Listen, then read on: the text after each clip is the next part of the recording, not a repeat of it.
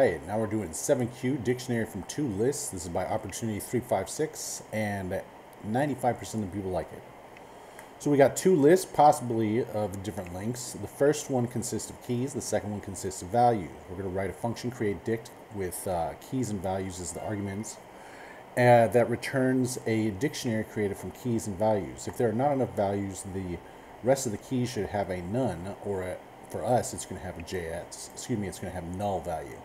Uh, if there's not enough keys, we're just going to ignore the rest of the values. All right. So right here, uh, we see A, B, C, and D as the keys in one, two, three. So this is probably going to have a null, and it does.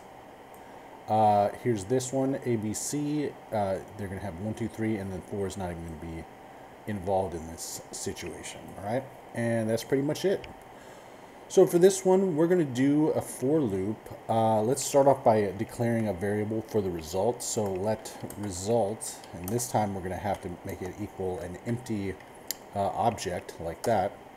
And then we're going to do a for loop iterating through the keys. Okay, so we're going to say for let i equal 0 while i is less than keys dot length. We're going to say i plus plus all right? And the keys are basically in an array like this, or just like this, all right? So what we're going to do here is we're going to say uh, if, because we're checking to see if this is as long as this, or this is longer, or whatever, you know, just in case we got to do null. So we're going to say if, uh, pardon me, if i is less than values dot length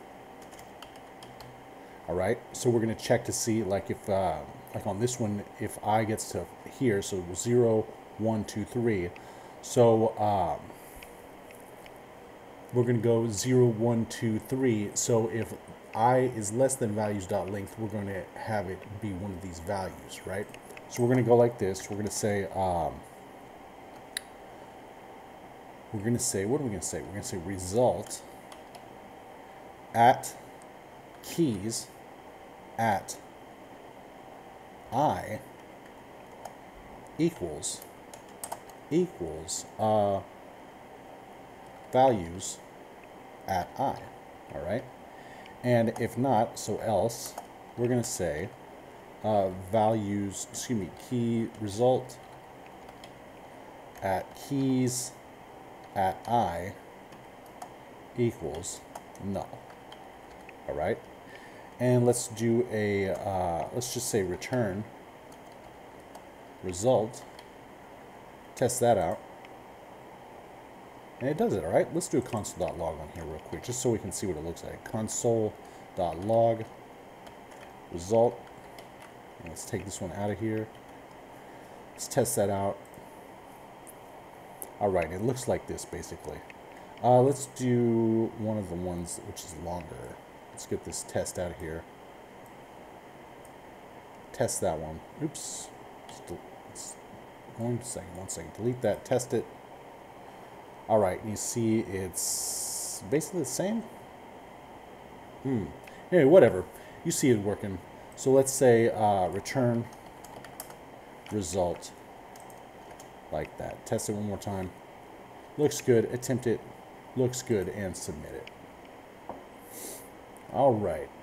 So you see this one here, basically did the same thing we did. Uh, they used the, um, what is this thing called? The, uh, what is this thing called? The ternary operator or conditional operator here instead of doing the for loops, excuse me, instead of doing the uh, if statements.